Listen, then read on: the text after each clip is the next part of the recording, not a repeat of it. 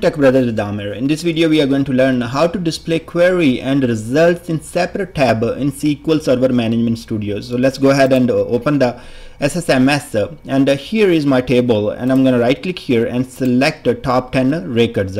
You see that this query and the result sets are in the same tab. Now I would like to show them in different tabs. So how I can do that? I need to go to the tools and then I need to go to the options and uh, here I need to go to the query results. Once I'm there I need to go to SQL Server and then click on results to the grid and uh, there I will say see display results in separate tab. So I have to check that box and switch to the results tab after the query executes. So I need to click on that one as well. So hit OK. And now if I will take my query and uh, open a new query window so you will see that uh, I have a editor here and then I have messages. So once I paste my query here and run the or execute the query a new tab will open uh, that will be results. So you see that I have uh, everything in the new so editor that's where our query will be and the new tab for the results and for one for messages.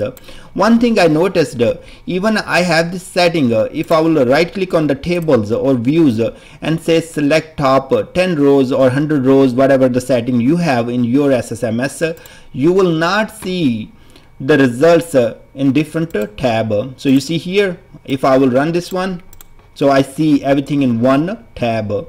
So and uh, here if you will uh, select the new query then uh, it will work just fine. So if you will have new open new query from here and then run the query you will see editor has a query and results will be different and messages will be different. So just to remember uh, if you feel this is not the way just uh, always uh, use the select top 100 or whatever thousand rows.